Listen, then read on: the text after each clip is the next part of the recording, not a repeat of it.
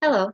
With the holiday season upon us, I wanted to do a little video on pastry molds. But before we get started, make sure to select like if you like this video, click subscribe, and that way you can be updated when new videos come out. And if you happen to have any questions, please feel free and post your questions or comments below. Now, on to today's discussion. Welcome to today's discussion. As you can see, the topic of today is Gebäck Model. That is German for pastry mold or pattern model. Gebäck is pastry and model model is the mold. A quick history on pastry molds. Simple molds were used as early as 3000 BC Molds were used in Mesopotamia, Egypt, Greece, and then later during the Roman Empire. These molds could have been made out of pottery, wood, or metal castings. The first mention of Lebkuchen is in 1296 in Ulm. Gingerbread was first mentioned in 1335, and later a guild was formed about 1415. By 1419, Prague already had 18 gingerbread bakers. Around 1420, the first recipe for, if I mispronounced this, I am sorry, I do not do French well, pain de, de pis, okay. please correct me on that, was invented and it looks like rhyme, reams, rhymes, but I know it's French, so I'm going to say re. It's a city in the Alsace-Champagne Lorraine region.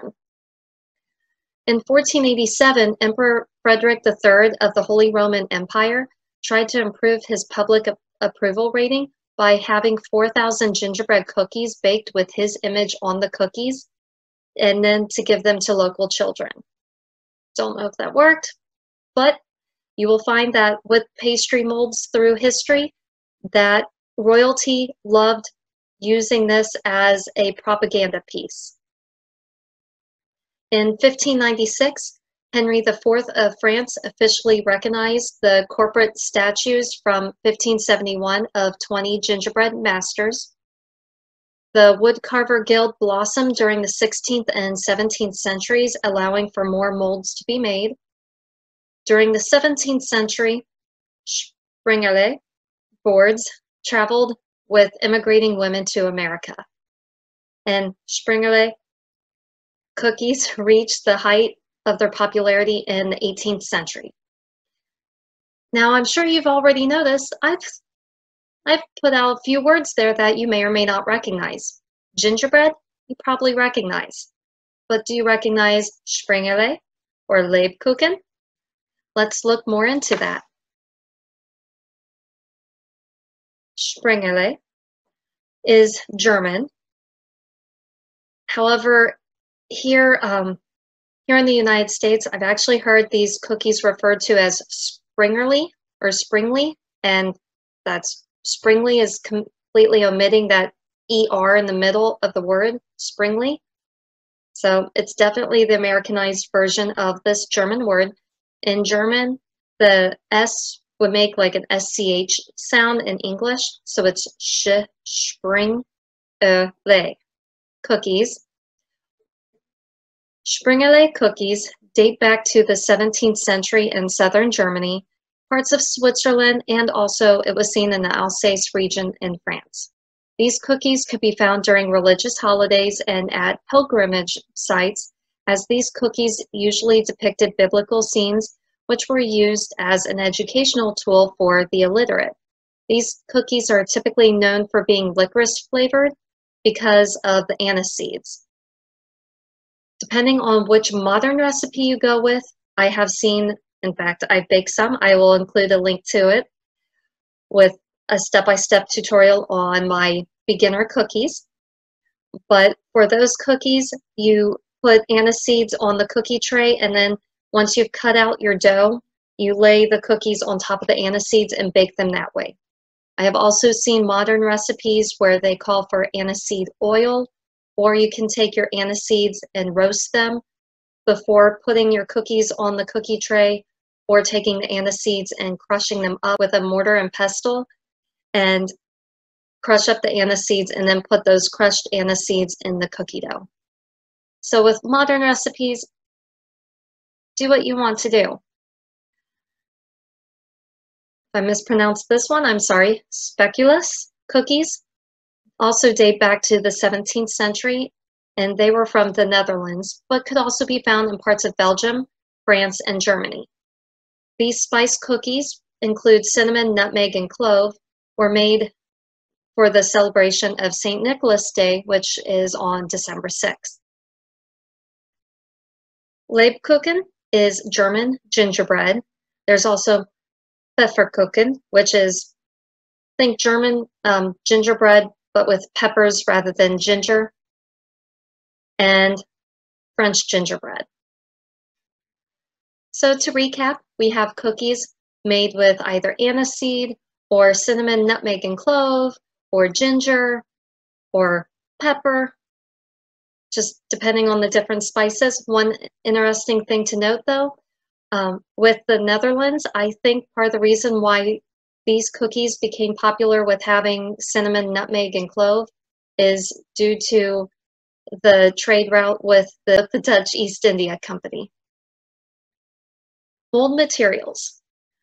Most historical materials you'll find were used were either fired clay, metal. I've seen references saying that stone was used. However, looking at museums and such, I have not found any examples of stone molds that still exist, and wood.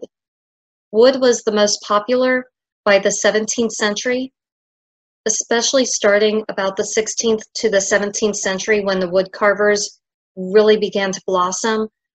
Then that's when these woods were typically, or the molds were typically made from woods from regular farm trees, which could be apple, pear, cherry, lime, linden, and elm. The main thing is you wanted a wood where, how to describe this? you want a wood where it's not very porous and it makes the surface very easy to clean and be able to reuse again. Here's one historical recipe that I found. It is the earliest recipe that I found for Springerle cookies, um, and it's from 1688. As you can see on the left-hand side is a copy of the actual German recipe.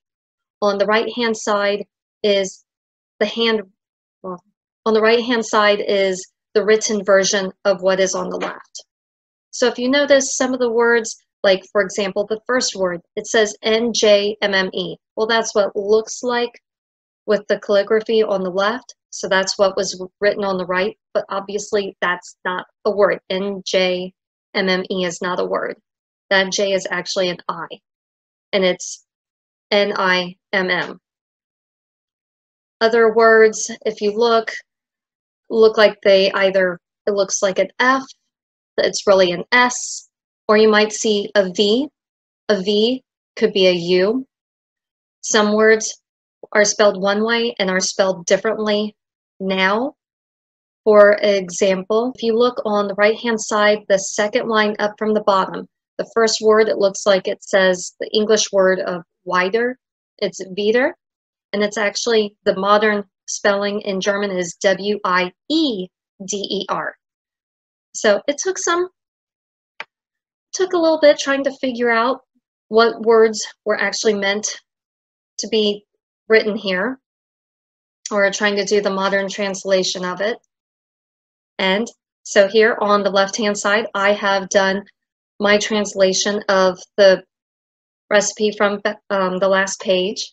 So if you look, left-hand side is the German from 1688. On the right is the literal translation of that of that writing. And then here is my translation. Springle cookies were um, the actual translation is to make jumpers, but these cookies were known as jumping horse.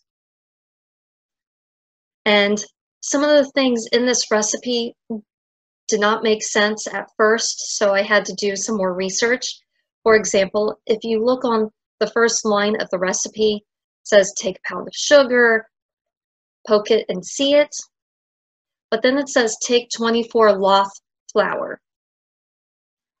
I looked in my um, German English translating dictionary. I looked online. I did research trying to figure out what a loaf is. Come to find out, a loaf is also known as a lot, L-O-T, which was a unit of mass used in Germany, Austria, and Scandinavia. It was replaced by the German Reich in the mid to late 1800s, between 1868 to 1877. Each country, Germany first, and then Austria, and then Scandinavia, they varied in what year they switched from the lot to the Reich.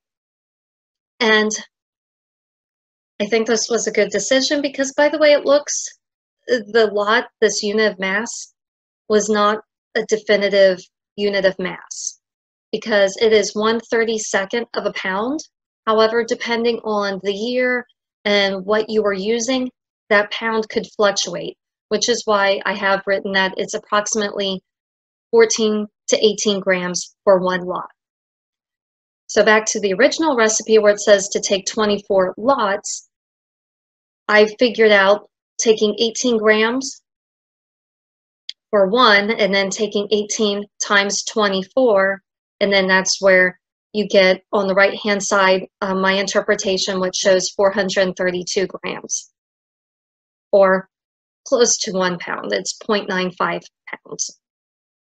So for this recipe it looks like they want just a little bit more sugar and a little less flour which looking at modern recipes for this cookie I find interesting because either you find the same amount of sugar and flour or you might find a little more flour and less sugar, like say two cups of sugar and three cups of flour. Other recipes will say two cups sugar, two cups flour. This one specifically says a little more sugar and a little less flour. One thing with this recipe, if I go back here to the original German, if you look near the bottom, there are two references. Actually, I, let's see, actually it's in the middle. There are two references where it says limo, L-E. On the one line, it's right in the middle. It says and L-E, and it looks like it's either a little S or a dash, and then looks like Monish, Monichest. We'll go with that pronunciation. If I've mispronounced that, please let me know. But as much research as I did, I could not find a translation for limo. The rest of the word is either, depending on which one you're looking at, it's either peels or juice, but there are no references to the limo. I found one recipe that had interpreted this original recipe, but in that recipe, they person who had done the interpretation put lemon, but the German word for lemon is Zitron with a Z, Z-I-T-R-O-N, which to me does not look anything like L-E-M-O. It's not like the one German word that I pointed out earlier of wieder, where the modern translation or the modern word has an E in it, where in 1688 the E was omitted. To me, limo, the closest that I could find that made sense for this would be a lime. A lime in German is a Limette. Looking at modern recipes, I have found some recipes that call for lemon peels or lemon juice. Well, in my opinion, there isn't too much difference between lemons and limes. They're both part of the citrus family. So for this, I went with a limo being a lime. We'll see if it works. Also in this recipe, there was the word I, E-I. The literal translation for this is egg. But where they where egg fell in this recipe did not make sense. Springerle cookies for modern recipes call for eggs, but they're part of the dough before it gets baked. This recipe from 1688 says to either it says after you've made your dough, you've rolled out your cookies over the mold, you've baked your cookies to um, bake them, roll brown, and then bring them out of the oven, let them cool, and then it says sweep over with one eye.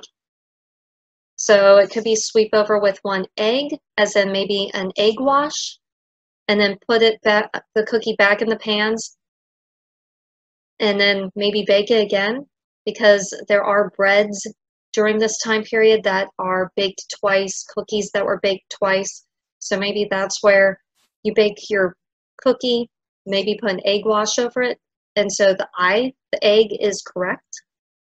And then you bake it a second time with that egg wash on it the second time. Or maybe ice, the EI, maybe it's supposed to be icing. Maybe it's supposed to be ice. Because again, one of the things that's not written in the 1688 recipe that I found with modern recipes for Springerle cookies is that after you've molded your cookie and you've set it on the cookie on your cookie sheet, you want to let it sit for at least 24 up to 48 hours before baking. You want to let it dry out. That way it keeps the form of the cookie. If you, for example, on my little cookie roll here, these impressions will be on your cookie. If you bake your cookie when it's still fresh dough, all of these impressions will start to bake away. So you want to let your cookie sit for 24 to 48 hours, which is another thing with this recipe from 1688. It says to let your cookie stand for a short hour. I would recommend at least 24 hours, not just one hour, because you want your cookie to dry. But after that 24 hour period and you've let your cookies dry, you want to take like a, for example, a wet washcloth and just moisten the bottom of the cookies and then put them on top of the anise seeds on the cookie tray before you bake them. This will help make the bottoms more even on the bottom before you bake them because the cookies have laid out, they're dry, but it just, it works better having them moistened. That's why in this recipe it says sweep over with one. If, if the EI was meant to be ice, which the German word for ice is E-I-S-S, that would make sense rather than taking a wet washcloth. You could just rub over the bottoms with one ice and then put it back on the cookie tray and then back in the oven to bake a second time. Another thing with this recipe was one word that I had trouble with translating and closest translation I can come to with this is the word unclear. But with baking, I don't know what exactly an unclear would be. The closest thing I could think of would be egg whites, because again, looking at modern recipes for this type of cookie, you want eggs. The, for the beginner Springerle cookies that I bake, I believe the recipe calls for five eggs. If you look at the recipe from 1688, it calls for a pound of sugar, almost a pound of flour. You want cinnamon clove, nutmeg, and then the lime peels, and then it says do with unclear. So this is my interpretation of this recipe. The thing that I found interesting with this specific recipe is that it calls for cinnamon, clove, and nutmeg, and these are actually spices that you normally don't find in Springerle cookies. They are spices that you find, it's reminiscent of the speculoos recipe. If you want more information on other historical Springerle recipes, here is one on the left from 1824. That's the German, and then the English translation on the right. This recipe can be found in a Basel cookbook. And onto another type of molded holiday cookie. This is a recipe of to make gingerbread of almonds. And this recipe is in Lady Barbara Fleming's gingerbreads um, recipe from 1673. On the left-hand side, you can actually see her handwritten recipe, and on the right-hand side is the translation of the writing on the left. And just for fun, there's also a couple of examples of molds down at the bottom. Here are some other historic gingerbread recipes. Uh, this is one on the left and one on the right, and I believe these are both from, I want to say, 18th or maybe the 19th century. I have more information at the very end of the at the very end of this discussion with website links for you to find more information if you have questions about these recipes. So on to molds. This is an example of an English mold. It's late medieval, early Tudor. It's from about the mid 15th into the early 16th century. It's on display at the Museum of London. It's made from terracotta. It's a carved figure of St. Catherine, and this, it says, was probably used on the saint's feast day, which is November 25th, for the mass production of almond breads or biscuit breads. St. Catherine was one of the most popular saints in the medieval period, and there were many chapels, chantries, and churches ded dedicated to her memory in London. And I also have the dimensions here if you're interested in maybe trying to make your own mold.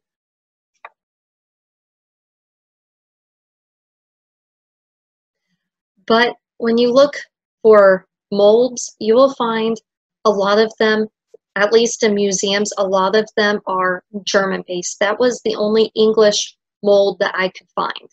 There may be more out there.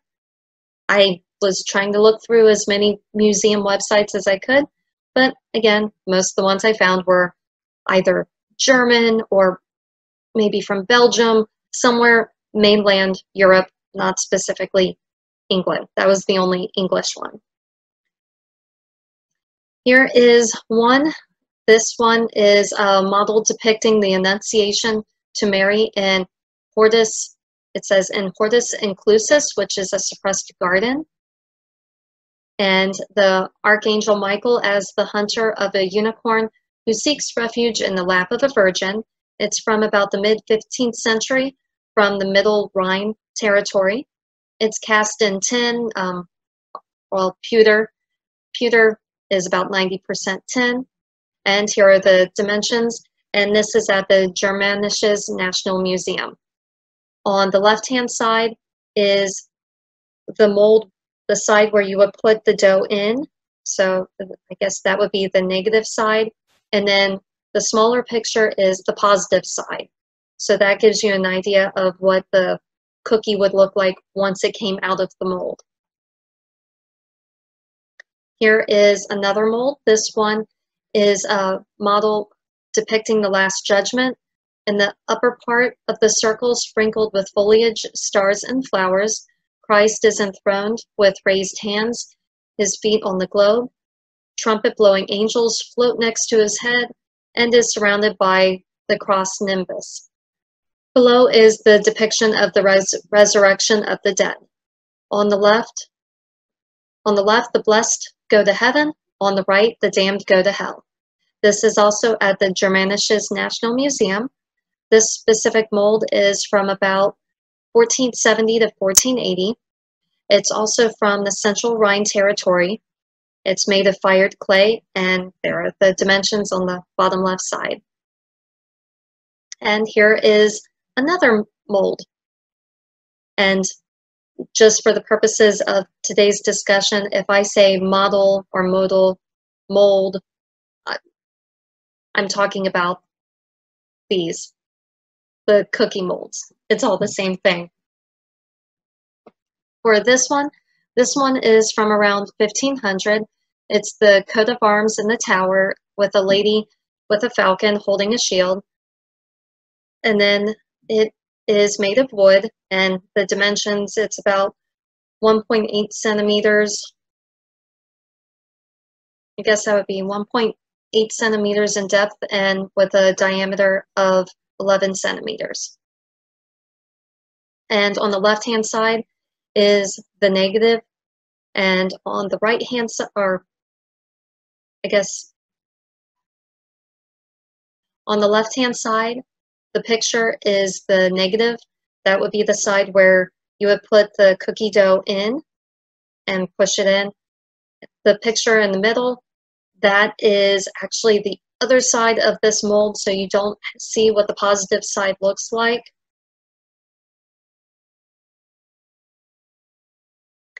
And here is another mold. This one is a shield holder with an Alliance coat of arms. It's from about 1541 and it's about uh, 13.7 centimeters in diameter. And this is also made of wood. This is at the Swiss, Swiss National Museum. Here is another one at the Swiss National Museum. This is on one side, it's a fish, and on the other side is a rice creeper. This one I found to be interesting because most molds you will find it's only got one side.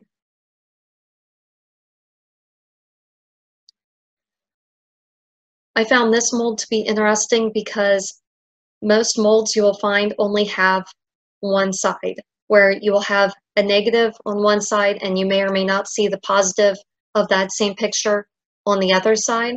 But this one actually has a mold, a fish on one side and the rice creeper on the other. So depending on which side of the mold you use, both sides are usable, which seems to be a bit unusual with this type of mold. This one is dated to 1542. And here's another mold. This one is from around 1600. It's um, oval shaped with a coat of arms and a leaf wreath. It's um, also at the Swiss National Museum and it's made of wood.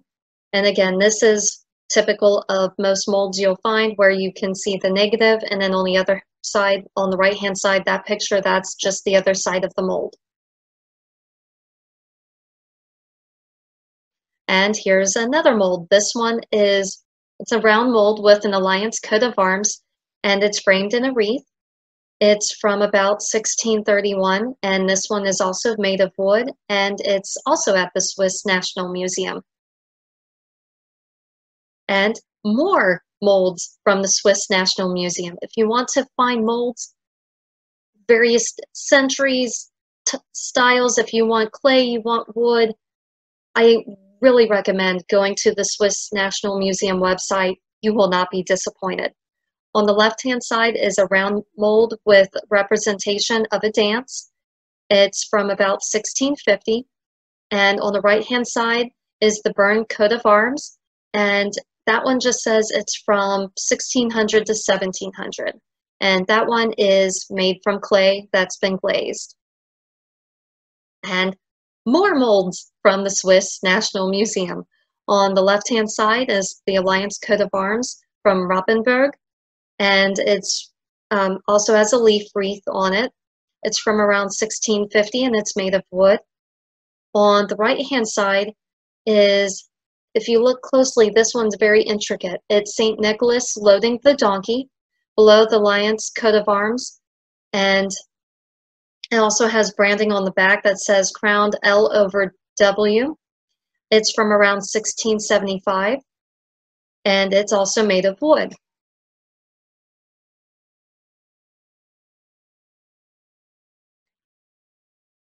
Here is an example of a mold where you can see both the negative on one side and the positive on the other side. This one is from Switzerland and it's actually it's dated 1679 with the signed letters HMST.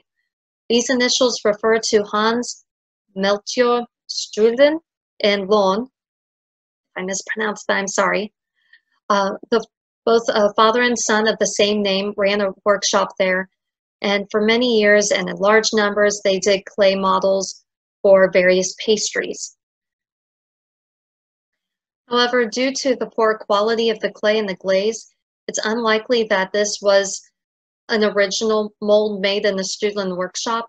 Instead, it's, we'll say, kind of a cheap knockoff of the original.